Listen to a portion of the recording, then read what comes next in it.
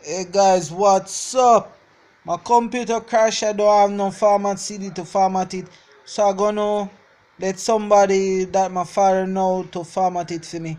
So afterwards, when it done I, and it come back tomorrow, I'm going to go on the internet. I'm gonna listen to some gospel songs, and I'm going to link you guys up on Google Plus. So I see you guys later, and I catch you on the flip side. So see you guys later. Bye.